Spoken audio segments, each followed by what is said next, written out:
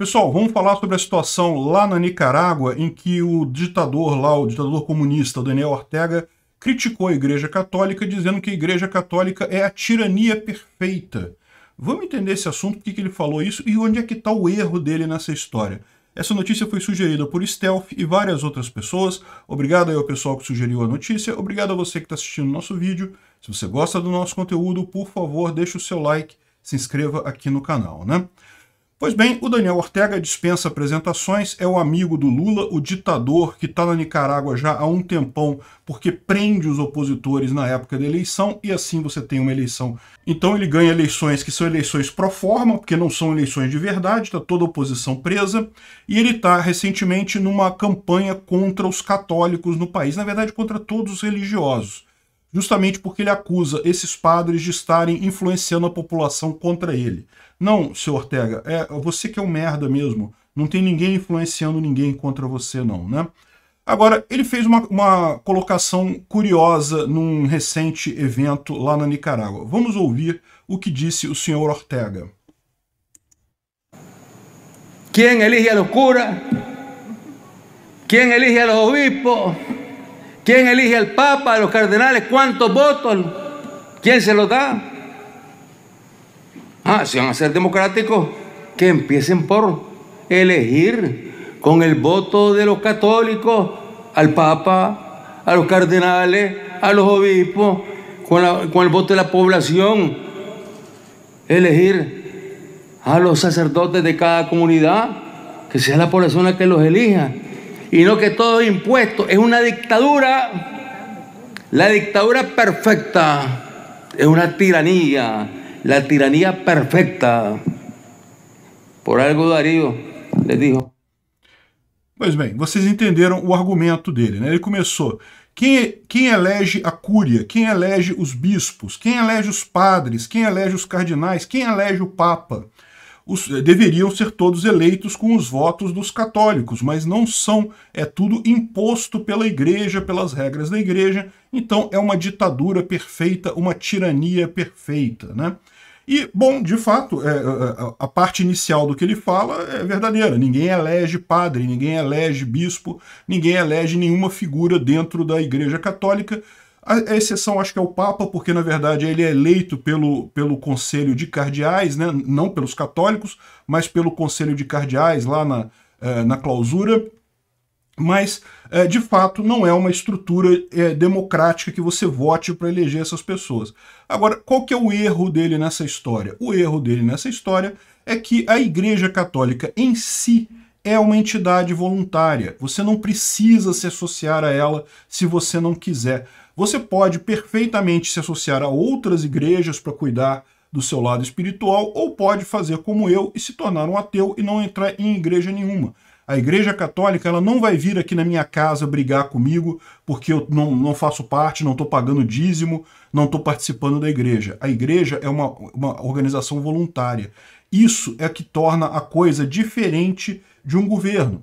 Um governo, como por exemplo o governo da Nicarágua, você, se eu ficar em casa e disser, não, eu não acredito na. Se eu, se eu fosse um, um nicaragüense, estivesse em casa e dissesse, não, eu não acredito na lei da Nicarágua, eu vou fazer tal coisa porque não tem sentido nenhum, o governo nicaragüense vai mandar a polícia me prender dentro da minha casa. Ou seja, ele sim é uma entidade coercitiva, uma entidade obrigatória, e é por isso que se torna uma ditadura se você tem uma situação, como é o caso do, do Daniel Ortega, que se elegeu é, prendendo os opositores. Né?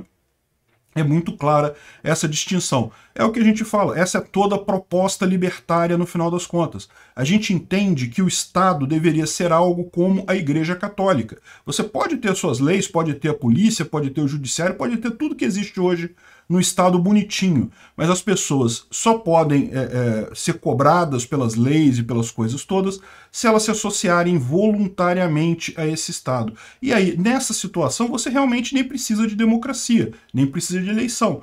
Cada um vai escolher as regras de acordo com o que acha justo.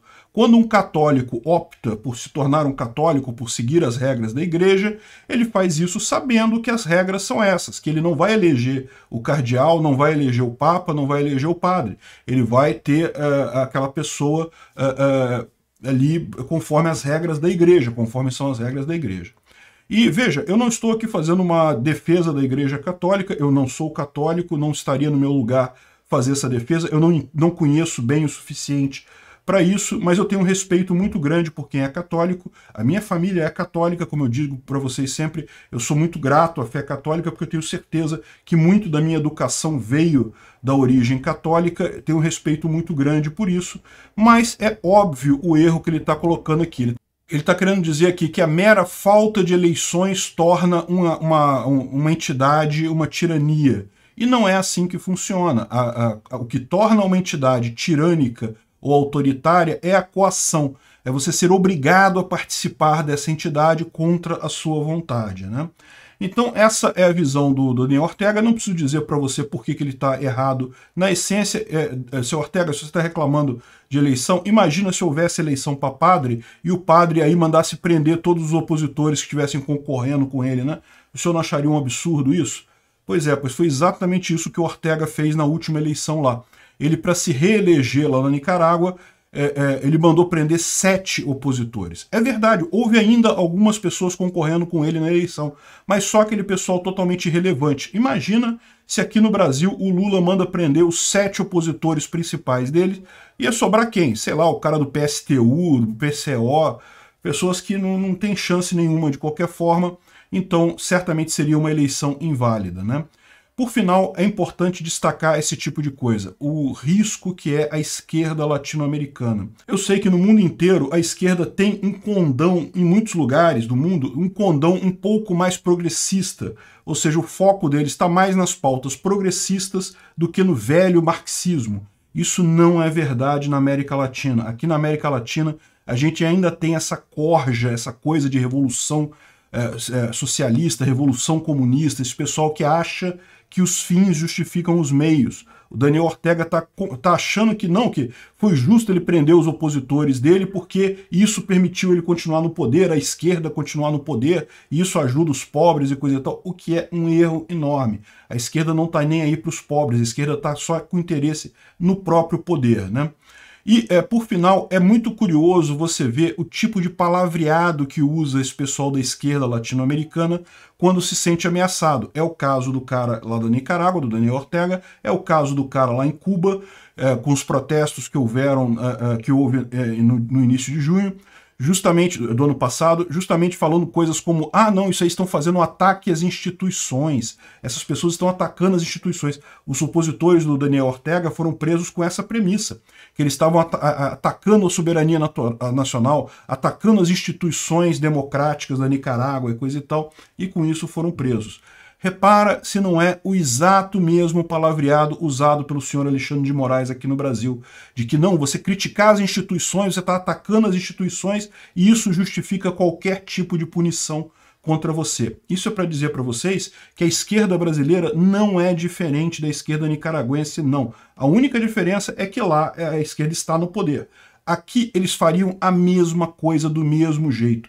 Não tenha dúvida nenhuma, na improvável hipótese do Lula ganhar essa eleição, ele vai atacar a igreja. Eu não tenho dúvida nenhuma que ele vai tentar limitar a igreja, tentar, no mínimo, influir dentro da igreja. Por quê? Ele fala exatamente a mesma coisa que o Daniel Ortega fala lá, que a igreja, os padres atuam contra o Lula, que os padres e pastores falam contra o Lula e coisa e tal. Esse pessoal é, é, tem uma sede de poder enorme. Eles acham que é, é, dizerem que são de esquerda justifica qualquer coisa que eles façam. Não tenha dúvida que Lula. Eu não acho que Lula vai ganhar. Mas se ele ganhar, certamente ele vai tentar destruir a Igreja Católica e toda a religião aqui no Brasil, de fato. É, eu não acho que vai conseguir fazer isso, tá? Vou ser bem claro. Eu tenho certeza que a sociedade organizada no Brasil, no caso de uma eventual vitória do Lula, vai se organizar rapidamente para tirar o Lula. Eu vou ser um que vou estar tá protestando em Copacabana se acontecer essa coisa. Não acho que vai acontecer, mas se acontecer, eu vou ser um que vou estar tá protestando este ano ainda contra o Lula. Vou ser acusado de ser um é, é, está é, minando as instituições, está atacando as instituições e coisa e tal, certamente você sabe que eles estão preparando esse discurso, né?